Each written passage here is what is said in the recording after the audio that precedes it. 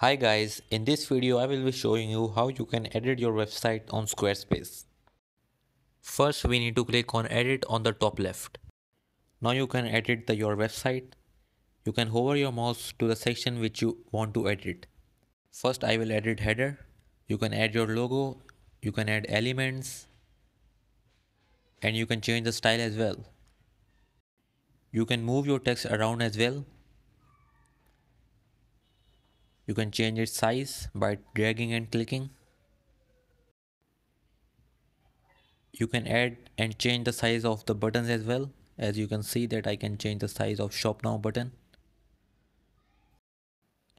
And we can add new sections as well to our website. As you can see that we have some custom built pages.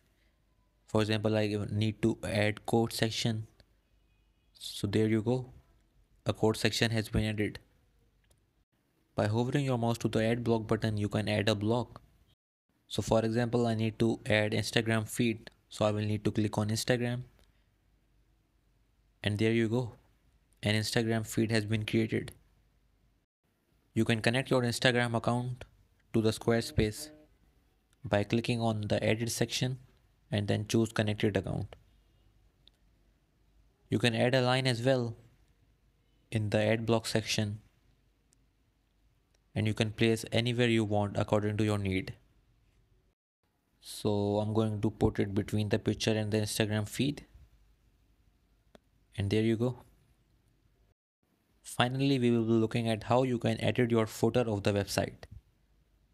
You need to go to the bottom of your website and here hover your mouse to the footer and click on edit footer.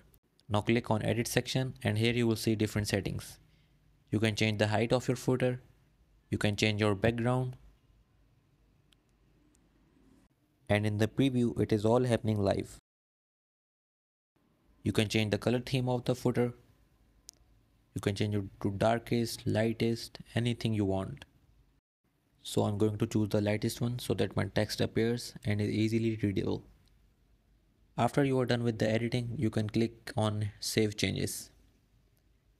And boom your website has been edited I hope you found this video useful. Thank you for watching and see you in the next one.